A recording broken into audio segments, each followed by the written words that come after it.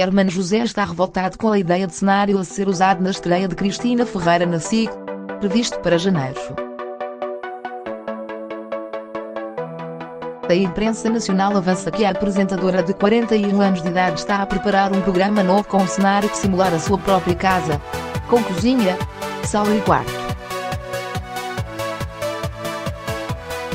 Um cenário que é uma casa. Por que é que eu não pensei nisso? Escreveu o humorista esta segunda-feira, 22, nas Insta Stories.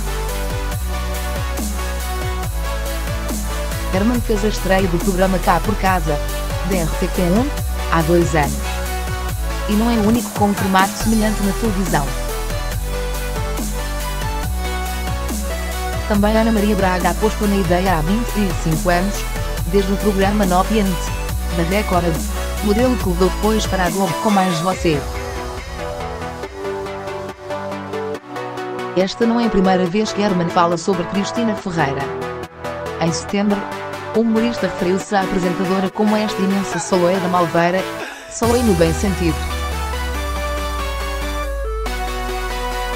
É uma força da natureza, com uma ambição e um foco que não são portugueses.